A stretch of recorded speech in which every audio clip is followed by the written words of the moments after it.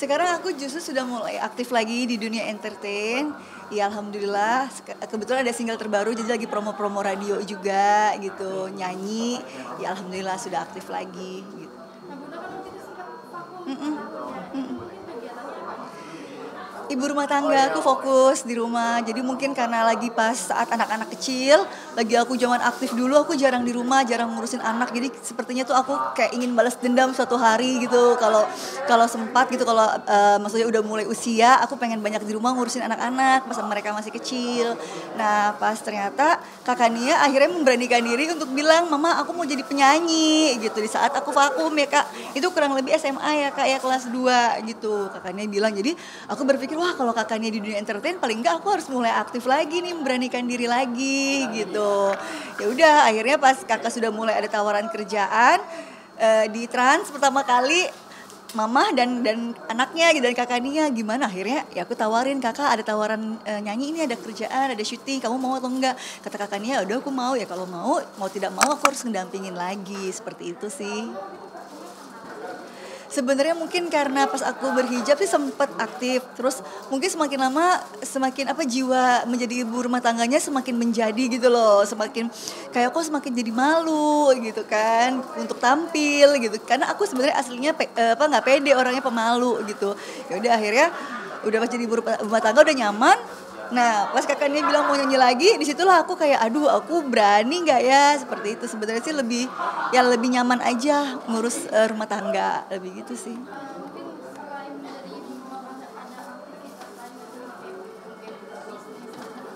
Sebenarnya bisnis di properti lebih ke suami sih yang yang urusin saat itu tapi uh, aku sih sebenarnya lebih ke di rumah aja sih kayak hal-hal ringan aja siapin makanan kayak anak berangkat sekolah aku siapin makanan kayak ya nyuci-nyuci gitu-gitu sih lebih ke situ aja sebenarnya Sebenarnya kalau kakak lebih senang mama banyak di rumah atau kerja? Kerja. kerja. Ikut.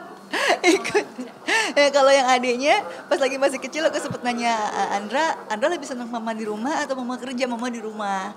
Jadi kayaknya mungkin karena masih kecil saat itu kan lagi saat mereka kecil aku kerja kerja kerja. Jadi kayak mereka uh, kangen gitu sosok uh, sosok ibu gitu kan. Jadi itu yang mungkin aku jadi sempet kayak agak merasa bersalah gitu. Nah ternyata pas aku udah aku udah di rumah aku jadi ibu rumah tangga mereka sudah pada besar. Malah udah mama mama kerja lagi aja. Mereka juga udah jarang di rumah. Jadi aku pacaran terus sama suami. Ya udah ya udah. Akhirnya ya udah Bismillah kerja lagi. Iya itu sebelum vakum. Jadi suami pas aku uh, sempat memutuskan untuk berhijab aku sempat kan kebetulan saat itu manajer aku suami kan. Terus uh, bilang suami gini konsekuensinya adalah pasti kamu akan beda nih untuk pekerjaan. Beda dengan ya kamu dulu kerjaan ya hampir setiap hari. Pasti kalau udah berhijab adaptasi lagi pasti kliennya juga beda gitu kan. Ya pasti kamu akan berkurang banyak nih untuk untuk kerjaan kamu. Itu bagaimana kamu sudah pertimbangkan atau tidak? Gitu. Aku bilang ya nggak apa-apa. Aku kan niatnya kan ya karena memang aku ingin gitu kan. Maksudnya aku lebih tenang aja gitu dengan berhijab gitu. Karena kan dulu kan aku image-nya kan goyang seksi. Itu nggak aku nggak nyaman sebenarnya dari dari sikap dari sikap ya banyak sekali pria-pria yang berpikiran negatif dari pandangan matanya. Aku sebenarnya nggak nyaman. Akhirnya ya aku dengan memutuskan hijrah ya alhamdulillah aku lebih tenang lebih nyaman. Dan anak-anak juga udah besar juga. Takutnya kan kalau mamanya terlalu seksi juga mereka juga malu. Kasihan juga. Sebenarnya lebih ke sana juga sih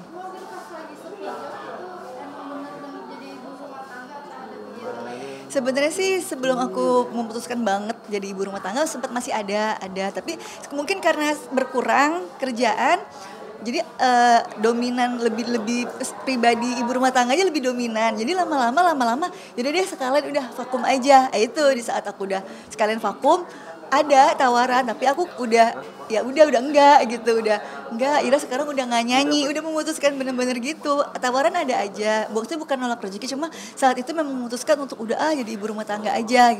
Nah itu akhirnya aku mulai lagi tergugah untuk aku harus nyanyi lagi harus membangkitkan ira suara lagi istilahnya gitu kan. Sementara saat itu sudah menidurkan ira suara udah Wahyuni Irawati gitu karakternya. Nah saat kakaknya bilang ya mau jadi penyanyi. Wah aduh Bismillah nih kan saat itu kan pengennya kan kuliah dulu. Pas sudah selesai kuliah maunya kayak kalau dia udah mulai kerja kalau aku dibutuhkan aku harus siap mendampingi gitu kan. Ternyata bener pas lagi pas masih kuliah ya kak ya gitu. Uh, sempat ditawarin iya mama dan anaknya maksudnya gini kan kalau anaknya mau nggak mungkin aku matiin rezeki anak gitu kan. Akhirnya dia mau ya aku Bismillah dampingin. Ya udah akhirnya pas aku mulai aktif lagi kebetulan hostnya teman-teman sendiri teman deket nanya ke mana aja. Aku bilang aku sebenarnya udah nggak pede kayak gitu. Nah di situlah yang akhirnya jadi heboh. Loh kok bisa nggak pede? Seorang Ira suara kenapa bisa nggak pede? Gitu. Ya aku bilang ya mungkin ya manusiawi aslinya aku pemalu terus seperti jiwa jiwa keibuannya sudah uh, sudah apa menguasai ya itu yang akhirnya iras suaranya jadi semakin menurun gitu sekarang ya Bismillah aku memberanikan diri lagi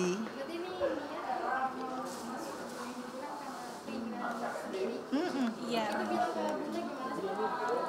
Oh, waktu SMA itu kan emang harus nentuin jurusan untuk kuliah. Terus aku bilang aku mau nyanyi aja gitu. Jadi mama langsung ngarahin ke jurusan musik gitu. Tapi genrenya beda ya kak. Uh, uh, jadi kalau hobi nyanyi emang udah dari lama dari SD, cuma emang suaranya masih acak adul. Akhirnya dari situ baru dikuliahi, diseriusin, sempat les juga satu tahun. Jadi kuliahnya uh, ini apa kuliah musik, majornya vokal gitu. Mamanya kan nggak bisa ngajarin, mamanya otodidak kan ilmunya. Akhirnya udah cari-cari informasi, ya udah deh yang fokus aja gitu kan ke vokal biar minimal ya sudah dapat teorinya sudah dapat ilmunya. Nanti kalau kamu selesai kamu udah lulus tinggal melatih jam terbang kamu. Seperti itu sih.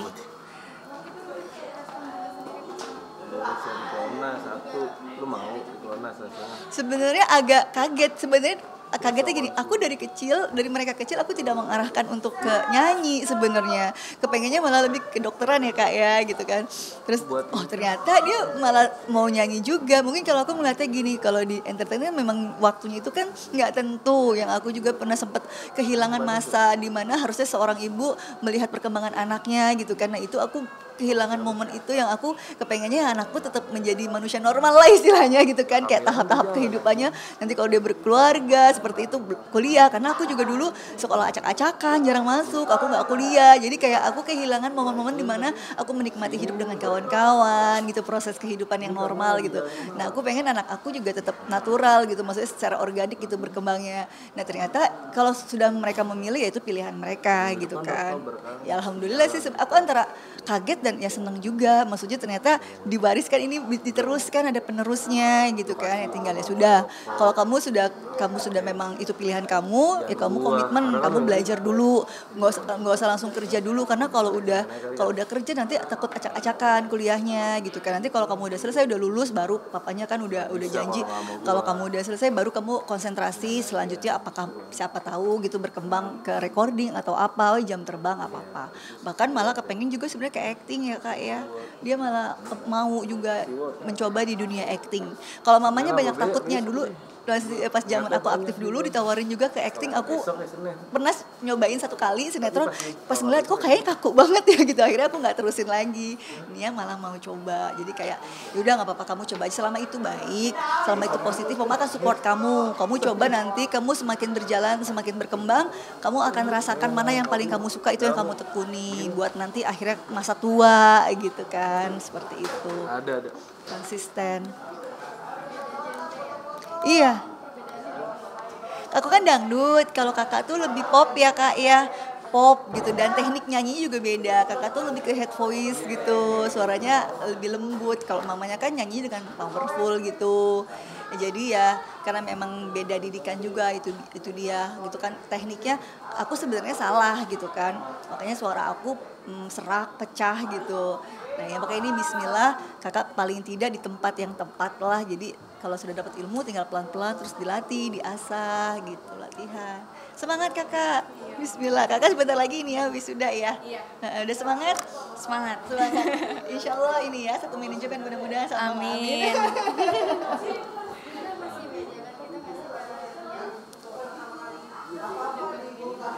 aku lebih memberikan contoh. Contohnya kayak gini lebih, ada wejangan-wejangan lebih ke kamu kalau sudah siap untuk menjadi penyanyi profesional contohnya kamu harus punya pegangan uh, lagu harus karak uh, genre ini sekian lagu.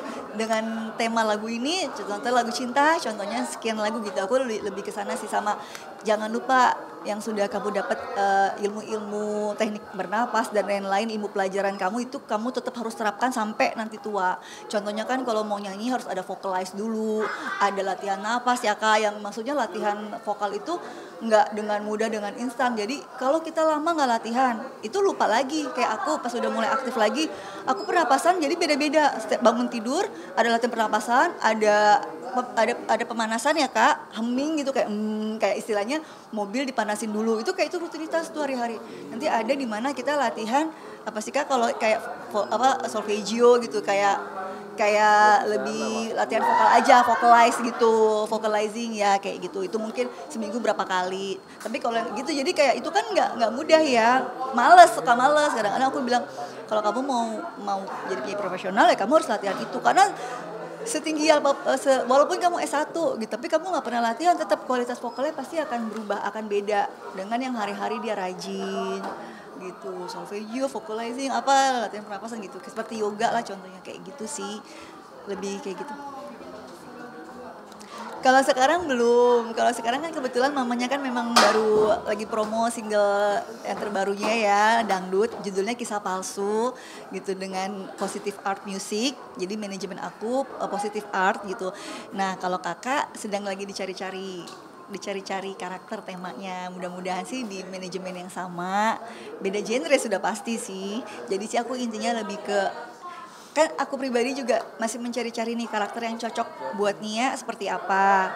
Kalau memang dia sudah menemukan jalannya, menemukan karakternya, nggak apa-apa. Kalau aku lebih ke seorang penyanyi harus bisa lagu apa aja. Aku aja ada lagu pop aku bisa. Karena aku dulu e, berkembangnya penyanyi kayak seperti apa namanya uh, overall gitu. Kadang-kadang aku aja ada event-event seperti acara kepolisian atau atau apa gitu, acara intern gitu, perkantoran. Jadi nggak cuma lagu dangdut kebutuhannya, ada lagu pop slow seandainya, ada lagu rock and roll contohnya, ada lagu seandainya caca dan lain-lain. Jadi kayak emang harus bisa semua genre seperti itu.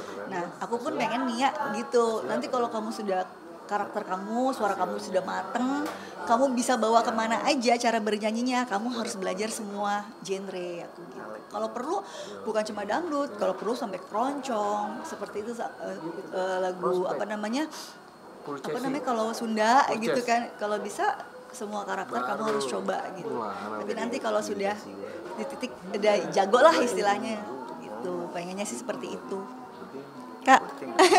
Iya kata dia walaupun kita ambruk-ambruk tapi ada hasilnya kak uh, kalau untuk aku sendiri sih maunya pop ya gitu. Karena kan anak muda juga ngincer marketnya anak muda gitu. Tapi kalau untuk genre apa aja mungkin penasaran juga sih. Uh-uh. kalau bikin lagu belum pernah sebenarnya. Cuma kalau dapat kesempatan mau coba bikin lagu sendiri. oh, iya. kamu mau coba? Mau dia coba. bilang soalnya dia susah nggak bikin lagu ya ntar pelan pelan pelan nanti kalau sudah saatnya juga pelan pelan bisa. Apalagi kan maksudnya kan dilatihnya kan juga sudah dengan not juga menempel di kepala dengan otomatis. Kan tugas kuliahnya juga ada juga kan bareng bareng sama temen. Kayak apa? Musikalisasi puisi dan lain-lain yang akhirnya dari puisi dibuat jadi lagu gitu kan. Ya, mungkin dasarnya mah udah bisa tapi dia belum pede. Lama-lama berkembang sama lebih nari ya. Nia kan seneng dance K-pop. Jadi mudah-mudahan sih kepengennya kalaupun dia nyanyi tetap ada menarinya juga ngedance juga. Mudah doain saja mudah-mudahan lancar sukses kami berdua kakak Nia ke depannya. Oke, tiga dua satu and cut.